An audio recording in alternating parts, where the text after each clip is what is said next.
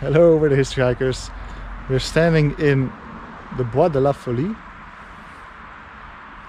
Yes, Bois de la Folie. Mhm. And uh, somewhere here is supposed to be a castle, a ruin. Um, we don't know where yet. And that's actually everything that says on the internet. It's like the castle is free to visit if you can find it, because Yeah. there are no signs, nowhere. yeah, so if you see this video, we'll probably have found it. Um, stay We- tuned. Let's check it out. The old medieval castle of La Folie is located on the edge of a very steep plateau overlooking the town of Braine and the entire Vesle Valley. The name La Folie is possibly derived from Folea, which means country house.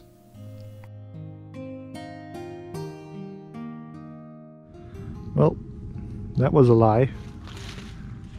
We're not even 100 meters into the forest and we see a sign saying where the chateau is. And then another 200 meters and we're there.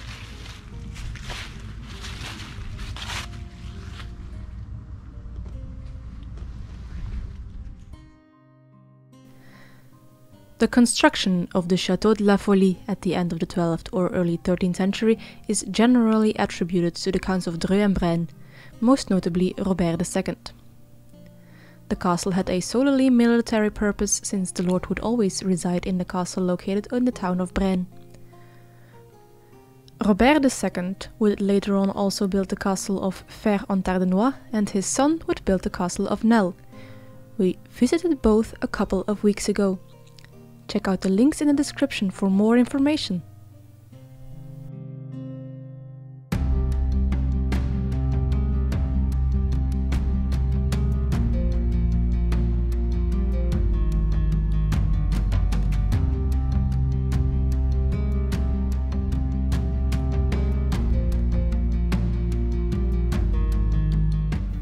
Castle is built into the rock and surrounded by a very wide and deep ditch cut into the limestone.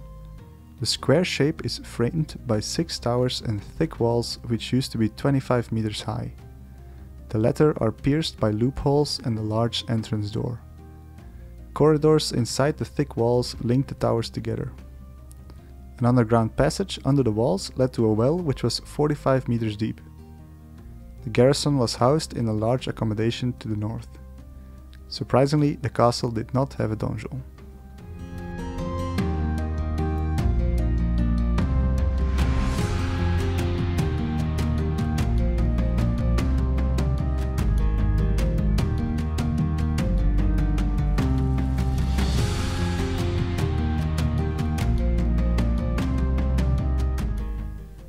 During the Hundred Years' War, Robert de Serrebruche, who was a descendant of the Counts of Dreux, allied himself with the English Burgundian cause against the French King Charles VII.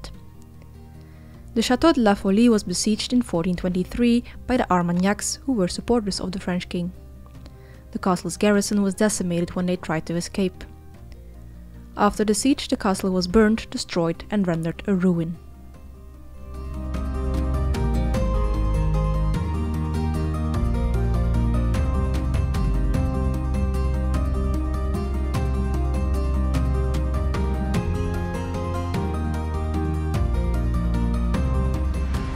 It would remain a ruin until the 18th century when it was converted into a hunting lodge by one of the descendants of the lords of Braine.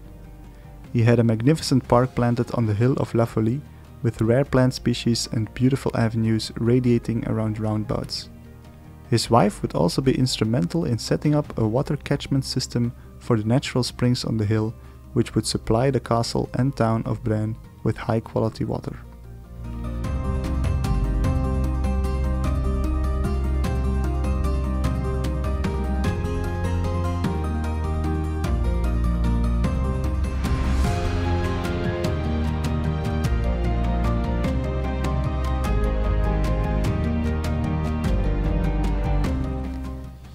During the French Revolution, the ruins of the castle of La Folie and the surrounding woods were confiscated and sold.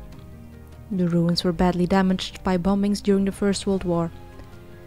Its ruined remains today are still in a very dilapidated state.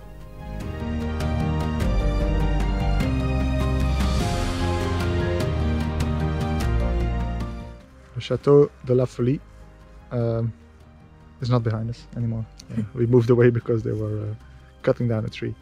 Um, yeah, it was, it was okay. It was a chateau in the middle of a forest. A castle in its natural habitat, or a castle ruin in its natural habitat. Um, yeah, time for the arbitrary subjective castle score. Um, well, there was some history. Um, I'm gonna go four. Four. Yeah, me too. Four, because there was more than one wall, one wall left, Yeah, but also some history. but also some history. And the moat was pretty impressive. It seemed like it was cut out of stone. Yes, thank you for explaining my subjective arbitrary score. We're the history hikers. We uh, check out all the castles, even if they're buried in foliage. Um, yeah, thanks for watching. If you want to uh, keep supporting us, please like, subscribe, comment, all that stuff. I'll see you next time. Bye. Bye.